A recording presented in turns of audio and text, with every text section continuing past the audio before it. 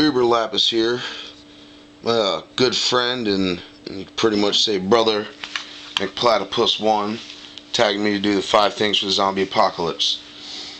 First item here, uh, kind of disappointed I didn't see more of this from our community, but I guess the majority of it's the gun community, but I kind of think guns, knives, kind of like intertwined, but good old fashioned uh, kukri. There's a purpose-built zombie head removal tool. This knife is definitely it. And uh, it does not run out of ammunition. Definitely gonna need a sidearm. That's my my go-to sidearm for like everything. Glock 20. Yeah, my some people might uh, have comments about that because it's not a, a standard, really like most common popular round um, 9 millimeter 40 45 same sense. There's the rounds that people are going to clear the shelves of first when the shit hits the fan and the, the zombies break out. So I'll have a big old fresh load of 10 millimeter in any gun shop I go to and at that point it doesn't matter if the shit costs more. It just matters if it's there. So I, I think that's probably not really a bad choice might be pretty dumb logic, but it's definitely a, a whole different way to look at things. This is a, a definite, uh, next one here be a, a definite uh, go-to. Empty chamber there. The uh, Glock's empty, by the way. But uh, anyway, 12 gauge shotgun is a Winchester Model 1300 turkey gun, so it's a little little shorter barrel.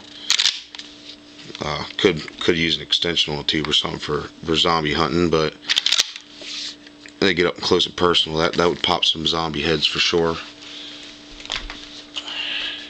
Definitely, I don't think it's the worst choice. Might not be the best choice, but not the worst. And I got it sitting here, so it would work better than something I don't have. Now this next one, I'm going to take into consideration. I'm going to be with my very good friends and family uh, grouped together trying to survive. As like a team. And there'll be umpteen numbers of AR-15s and AK-47s and all that shit. Not to mention anybody's familiar with McPlatypus One's channel uh, belt-fed guns.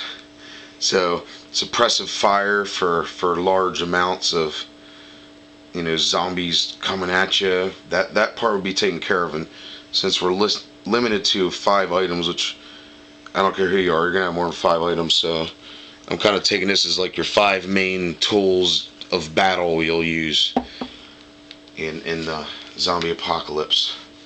So this next one I, I don't really see much uh, about this particular rifle uh, in, in anybody's channel Frodo has a, similar. No, Frodo has one of these. Uh, the one I have is a carbine model. His is uh, Frodo's is 243 if I think correct, but it's the uh, Remington 7600 pump action. It's a 30 6 Leupold 3x9 on it, real clear optics. Uh, carbine, so it's got the uh, shorter barrel on it. Have the pump forward, you can see that. So a little less shit to get hung up, a little bit lighter, highly accurate, floated barrel. It's not semi, there's no gas, there's no fluctuation in in the pressure, per, you know, propelling the bullet. Uh, way underrated in, in the high accuracy of these rifles. Um, I really wouldn't want a bolt action. You don't know how much, you know, how much you're going to be hunkered down or, or whatnot.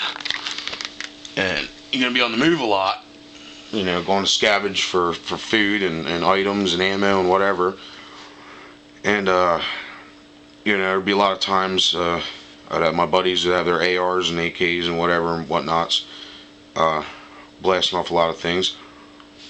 I wouldn't be all hunkered down sniper style with a bipod or bench rested and all that bullshit. I'm gonna have to be standing freehand and, and have to pop stuff at a good distance, you know, even if it's 100 yards away or I know you can do that stuff with ARs, but 100 yards, 300 yards away, whatever. That's got the knockdown power. It's going to take it out. 30 out 6 ain't no joke. And uh, you know, just just like the just like the uh, shotgun here. I get up in position with my hand on it. You know, boom, boom, boom, boom. Right like that, right through scope, highly accurate. You know, as accurate as I can hold the crosshairs on. You know, another shell's racked into it, ready to go, magazine fed. So I think that's pretty pretty much a, a, hell of a good choice. And that rifle I know really that's my that's my deer rifle, and I've been shooting it since I'm a, since I was uh, 11 years old.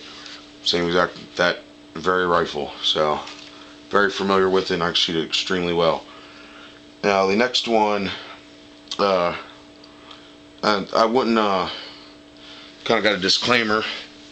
I wouldn't advocate shooting firearms and drinking, but we're talking the end of the world and everything's going to shit, so I'm going to need a drink. And if you ask McPlatypus one, he says that I drink more than Blackbeard and Calico Jack combined. So I'm gonna have to grab me a couple of half gallons of uh, rum, preferably Bacardi. If not, whatever rum I can find available, but I would uh, just grab, at least have what I have on hand to, to start and pick up what I can along the way. So I guess that would be like my five main major items for the tag here. Uh, I would have did this video earlier. I'm not sure of who to tag right now because everybody I thought of tagging has been tagged by somebody else. So I'll put that in the description and let them know. And they're probably not missing out because anybody I tag probably has 5 to 50 times the subs I do. So I, they're not really going to be missing out on a shout out from me from not tagging them in the video while I'm speaking. So that's pretty much it. There you go.